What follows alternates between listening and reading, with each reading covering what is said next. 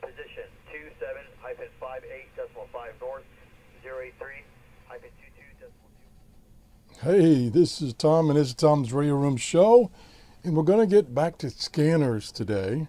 I haven't done any shows on scanner radios in quite a while, and mainly because I haven't been able to pick up any new scanners, new or used scanners. This is a used scanner, and I'm going to tell you why that I was pursuing this particular scanner.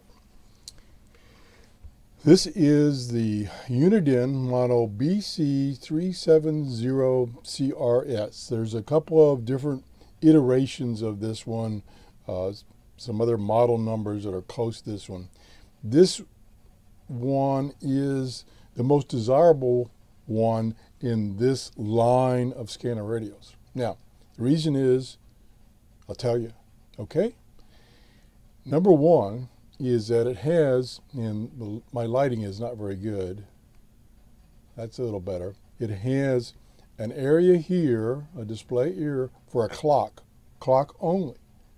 So you don't, the scanner doesn't have to share the display for the clock if it had one and the actual scanning frequencies and stuff like that. So this is always on. And then we have a big area and it, the display is pretty big. Um, it, it is it does have a shiny surface, so it is pretty reflective. So you have to get the light just right. It does have a pretty good backlight. And see if I can show you that. Okay, see that is a darn bright backlight. And you can have it just come on temporarily if you touch it, or you can have it come on permanently uh, until you turn it back off. And I've got it set now by pushing and holding the backlight button. Uh, it will stay on continuously. Let me see to, to if I had something I could stick underneath this to hold it up then there now the display's a lot better for where my camera is. The other feature that this one has that's pretty unique in scanner radios it, it, it has the ability to scan the military band. And let me look up here and tell you exactly what the military band is. Military air band, to be more specific. And if I can get to the page here, I'll fumble fingers here. Okay, here are all the bands it can scan. I know it doesn't show up very well on my camera. But if you look down here, and I'm not going to try to list them all because it it has a bunch of bands, including um, the AM band from 0.53 megahertz to 1.7. Now it doesn't do the shortwave band except at the very top. It does 25 megahertz to 30 megahertz. So that's not the one I was excited about and the reason for getting this. The reason I was excited about this particular scanner was it has a military air band which goes from 225 megahertz to 380 megahertz. And um, I'm lucky in that we have several uh, military air, air, airports, military airports. We have MacDill, which is just across the bay from me, and then in the central Florida, we have um, another couple of airports, military airports, and there's also a bombing practice range, Avon Park it's called, or Avon Practice Range. I don't know, one of those one of those names, not not particularly that.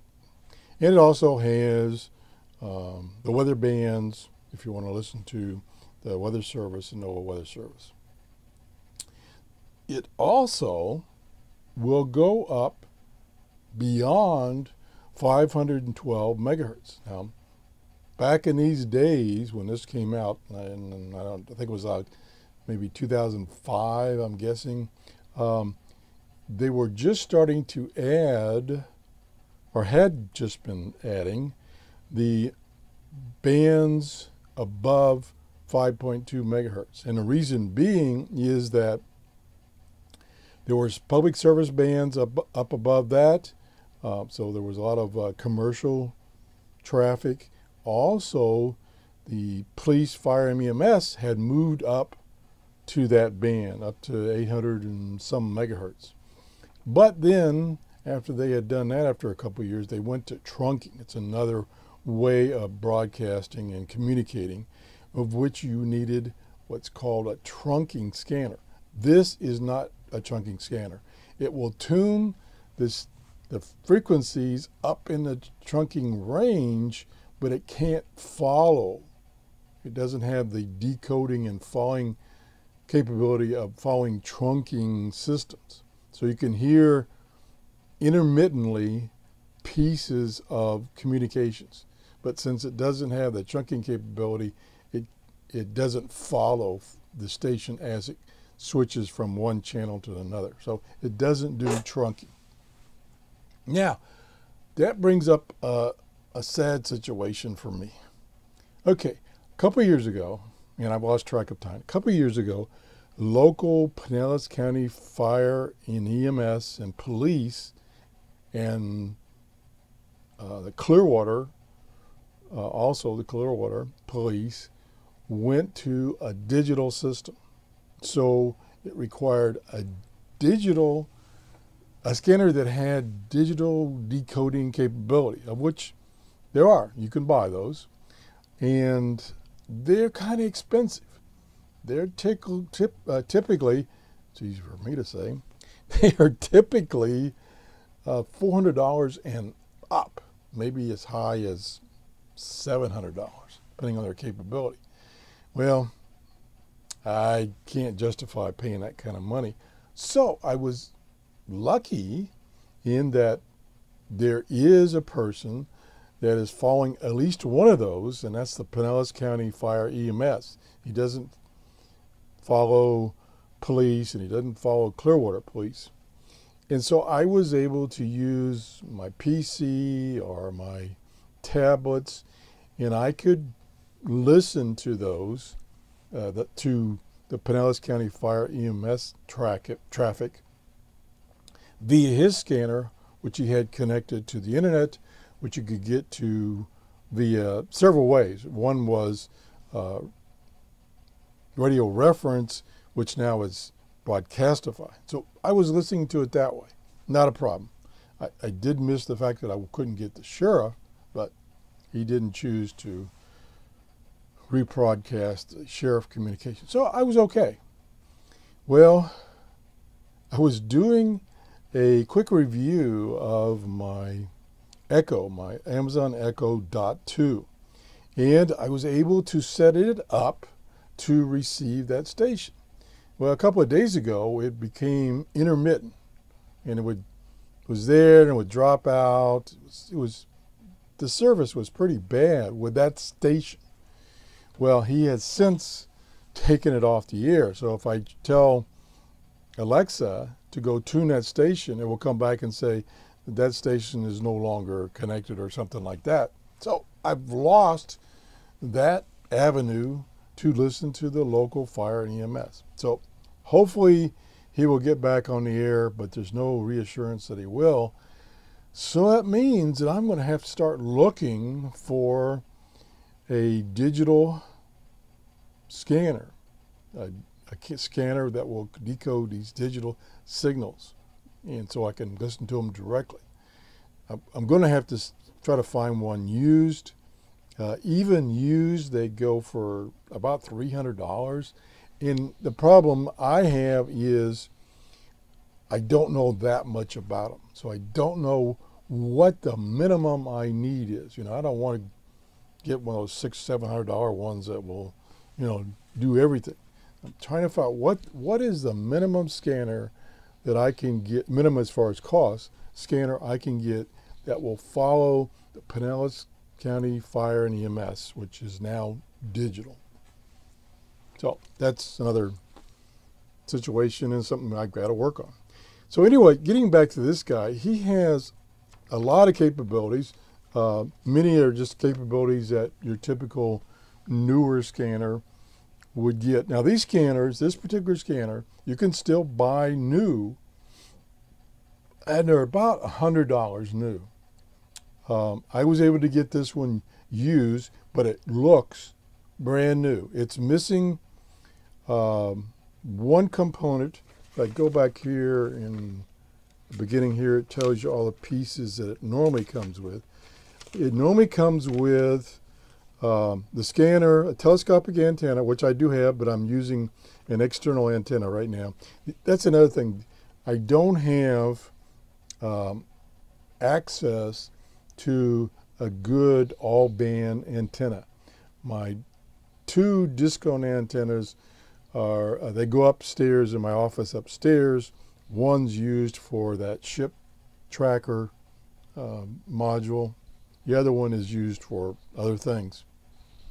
So I don't have a good all band scanner antenna coming into my workshop down here. So I'm using one that I experimented with or experimenting with, which is a TV antenna. It's claimed to be an HD TV antenna. Well, I don't think there's anything really that's an HD antenna. It's any, anyway. So that's what I'm using right now, and it I'm not getting the air traffic, the military air traffic from the central part of Florida.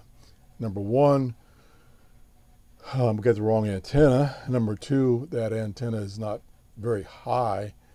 Um, so I got to, that's another problem I got to work on. Um, it did also come with an AM loop antenna, an external antenna that you can hook in the back here. I didn't get that with it.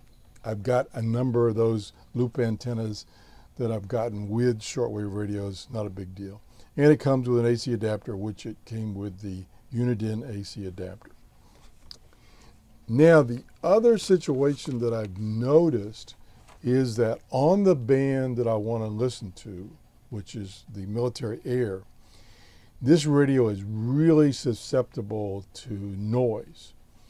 I, um, I had, when I first got it set up and got it going, I had it scan that military air and it kept getting hits and it was noise.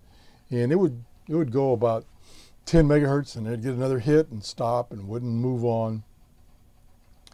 And I quickly found out that my when I have my computer here and my monitor on, that's creating noise in those frequencies and they get into the radio. I've got shielded coax uh, cable coming in, so it's, I don't think it's getting it that way. I think it's directly getting into the radio electronics and causing um, that interference. So right now, with the scanner setting on my workbench, I can't have the radio. I can't have the radio on and the computer and monitor on. So that's that's the way that is. Always something. It's always something. Um, the clock the clock function has several sub functions that you can control the radio with the clock when the when the radio comes on and stuff like that. What else is unusual about this thing? And it has, of course, it tunes the old TV frequencies, which are not operable anymore, are not usable anymore, since the government edicted that they had to go to digital. Don't ask me why. There's probably some subtle reason, except they could sell new TVs by doing that. I think that's all that really stands out about this particular radio. Um, like I say, it has a clock function that will either come on with a beep beep beep or it will come on and turn turn the radio on so you can listen to music or something, wake up to that. Uh, has 300 uh, memory locations that you can store frequencies in. Nice display. Um, these are multi-function keys up here. It also allows you to elect automatic service bands, they call it, to search. And one of them is the uh, airband, military airband. Um, there's the ham bands that will search for you automatically. Overall, it's a pretty nice scanner. Good, pretty good sound. It's, it's kind of a small speaker, but it's pretty good sound. Of course, you know, you're mainly listening to uh, voice, so you don't have to have high fidelity. I think that's about it. It's not, you can't, it's not, uh, what am I trying to say here? Oh, I'm trying to say it's not, you can't control it with a computer. There's no computer interface like some of the new new scanners uh, that you can control with your computer. So I think that's about it. Um, yeah, that's it's about it. So uh, just want to show you you. Finally got a different scanner. Like I say, this is a used scanner I got off of eBay. I've been looking for this scanner for over a year, trying to get a deal on it. Um, there's tons of these out there, but they're, they're kind of in demand, so they typically go for $60 and up. I was trying to get one for 50 or down, and I succeeded, and I got a nice one. So that's it. Uh, if you enjoyed the show, please give me a thumbs up. Uh, once again, thank everyone for using my Amazon store. I saw some purchases were made this week after one of my shows. I appreciate that. Uh, again, I don't know who buys things from my store. I only know what is bought. So if you want to drop me an email and you know just say, hey, you know, I did, did my purchase show up? See, that's the other thing. Um, you have to go through my store for me to get a credit. And once you go through my store, which is just a website, that's all it is, whatever you buy, you, you know, you may have selected an item and that took you to Amazon, and you could it could actually delete that item. So you could, if you wanted to buy, say, uh, some bird seed, and you wanted me to get a credit for it, you can go to my Amazon store. You can select an item and then say buy, that will take you to the regular Amazon store, and then you can delete that from your shopping list, I'll call it, and put the birdseed on there, buy that, and I get a small credit for the birdseed. So, and this is um, this is what I do with my Amazon commissions, they call it, is they give me a credit and with that credit, I buy things to review on my show from Amazon. I didn't get this from Amazon because uh, I got this off of eBay. I got this with the little bit of money I make from YouTube. Not much, but it's enough to buy, you know, things under $100 every couple months. So that's where we're at. Thanks for watching. Have a great day. Bye-bye.